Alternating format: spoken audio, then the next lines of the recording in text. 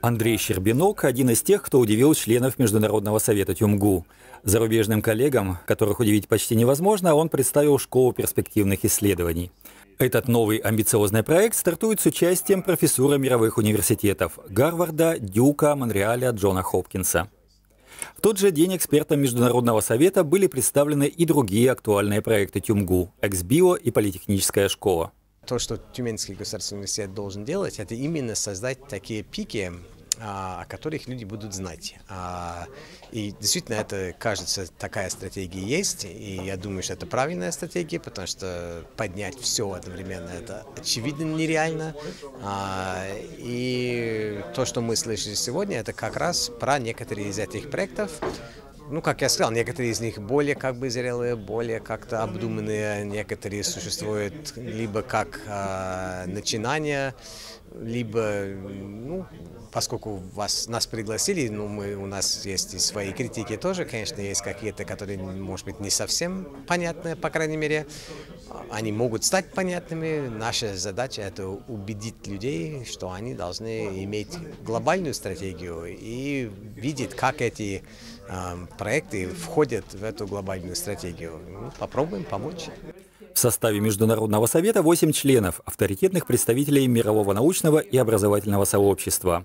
Эндрю Вахтеля и Геннадия Чеботарева наделили статусом сопредседателей. Секретарем выбран профессор Гай Ланза. Нам очень важно, чтобы лучшие эксперты из лучших мировых вузов посмотрели на наши инициативы и наши проекты.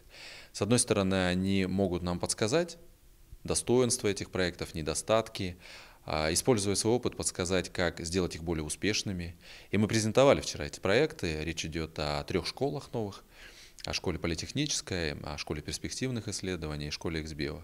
Мы рассказали о тех наших задумках, которые мы планируем реализовать в университете по трансформации образовательной деятельности. Ну и рассказали о своем участии, о первых результатах и о, о наших достижениях, о неудачах, об ошибках, которые мы допустили, в том числе в первый год участия в программе 5100. Почетным гостям показали научные лаборатории, провели совещание с руководителями стратегических инициатив и директорами институтов, обсудили первые итоги участия в проекте 5100 и концепцию дальнейшего развития Тюмгу. Одно из таких трансдисциплинарных направлений – инклюзивное образование. Äh, wir hatten in unserem äh, EU-Projekt 20 äh, Konsortiumsmitglieder und Humane war eines von den hervorragenden Konsortiumsmitgliedern.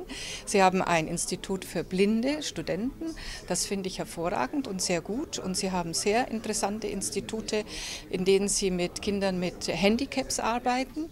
Das finde ich sehr erfolgreich und ich bin sicher, dass die Universität Humane im Bereich Inklusion eine, ein Vorreiter wird für Russland.